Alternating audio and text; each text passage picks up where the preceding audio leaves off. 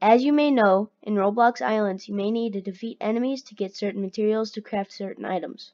These enemies can deplete your health, which can only be regained by eating food. One of the best foods to eat is berry pie because it regains a lot of health. The design I'm about to show you is a semi-automatic berry pie farm. This is what the semi-automatic berry pie farm looks like.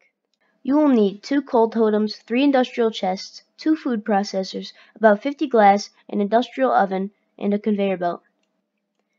You can make the machinery in a tier 3 workbench and you can buy glass at the hub. Start off by placing an industrial chest, like so. Then place a food processor and make sure the conveyor is going to the right. You then go into this industrial chest and change the direction to out so that whenever you put anything inside of the industrial chest it shoots out into the food processor. Set this food processor to make dough. After you've done that, put another food processor right in front of the other one. Make sure the conveyors are all still going the same way. Set this food processor to make berry dough. After you place the food processors, you then want to place a conveyor belt that has the conveyor going the same way as the food processors. You then want to put an industrial oven, again, same way conveyor belt, and then another industrial chest and make sure the direction is in. Now, the reason we have this conveyor belt here is so that we can place two coal totems right next to it, and instead of spawning nodes, it'll spawn coal on the conveyor belt. That coal will power the industrial oven to then bake later things. Now, we're almost done, but not quite yet. On top of the first food processor, you want to build up pieces of glass. Like so.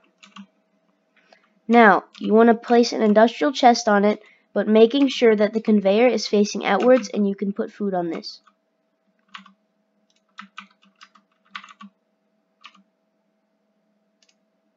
It should look like this right now.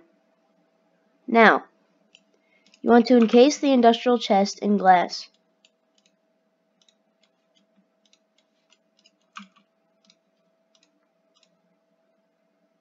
Build kind of a wall, like so.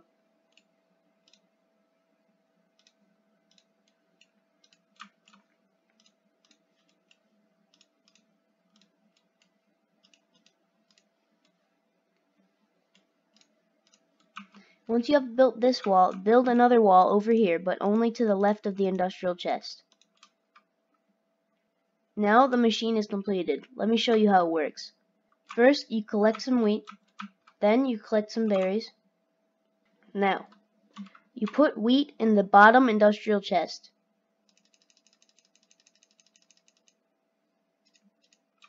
Now you see why we put this wall here, because the wheat rolls to the side. I don't know why, but if you don't have that wall there, it'll fall off the conveyor.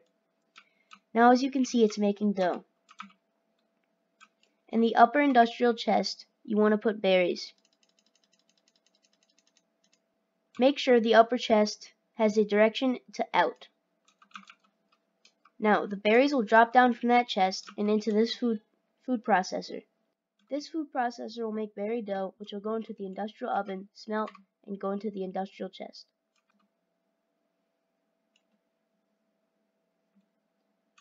May not be the most efficient machine, but this is what I came up with.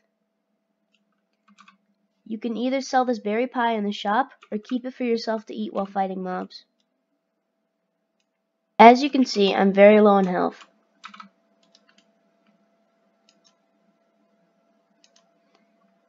By eating three berry pies, I am all the way up at max health again.